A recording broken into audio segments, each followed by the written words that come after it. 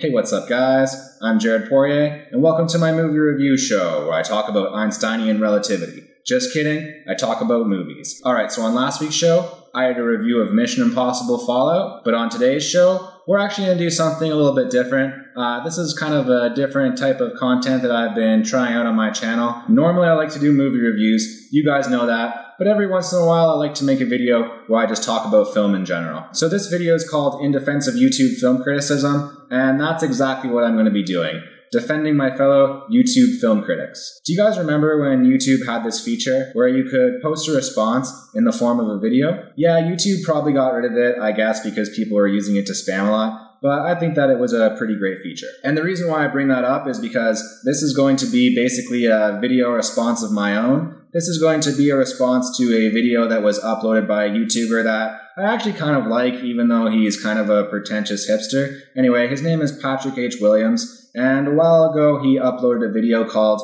We Need to Talk About Film Criticism. Uh, there'll be a little card that pops up with a link to that video, and I will also link it down in the description just in case. You guys are welcome to go watch that entire video and hear all of the arguments that he's making there. So I'm just going to go through Patrick's arguments here one by one. I'll try to summarize them, and then I'll try to give you guys a little bit of a rebuttal. Alright, so there's three main points that Patrick makes in this video. The first one is that YouTube film critics aren't usually formally educated.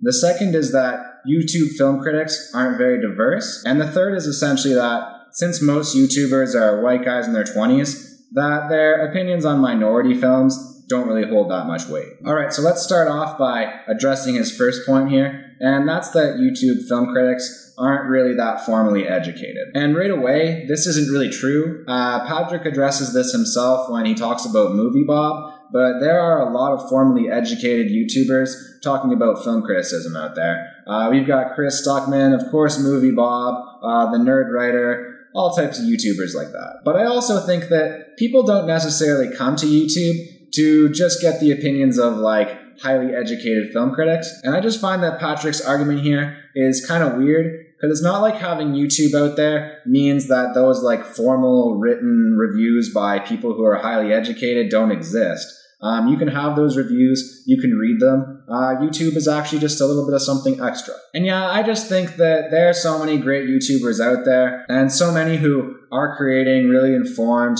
educated content that you can actually get a pretty decent education in film just by watching YouTube.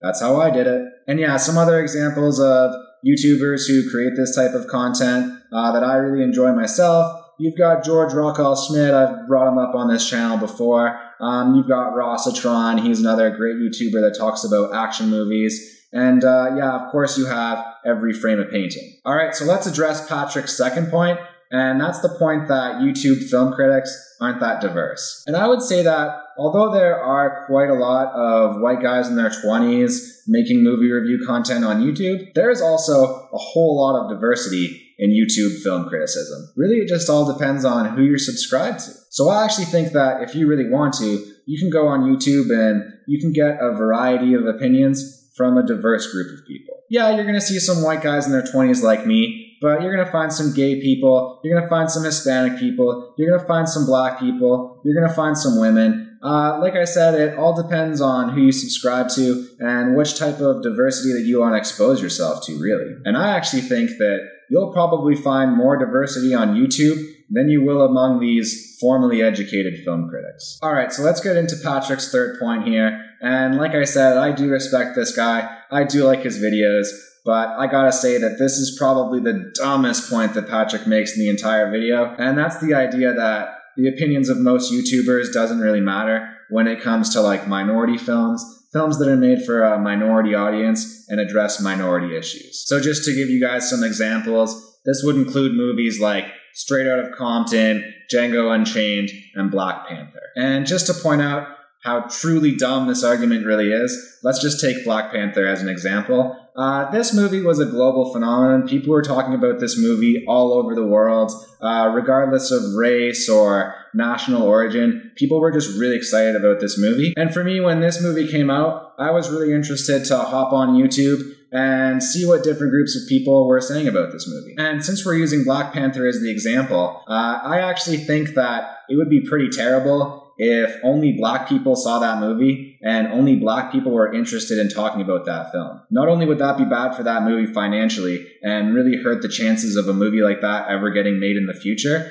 but I think that would just be a really bad sign for humanity in general. Like, are you really saying that people aren't able to relate to the struggles of people who are outside of their immediate racial group?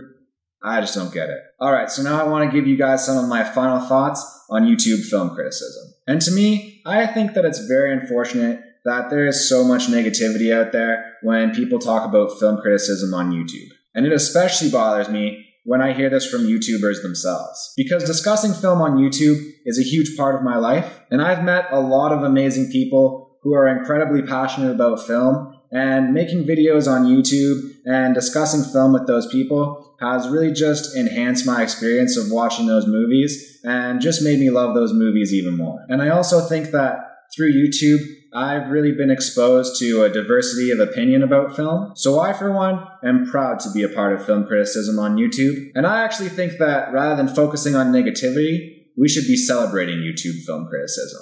All right, guys, so that's going to be it for this video. Before you go, make sure that you subscribe to my channel, ring that bell, and drop a comment down below. I bet that we can get a really good discussion going about film criticism on YouTube. But for now, thank you guys so much for watching. I love you guys, and I will see you guys next time.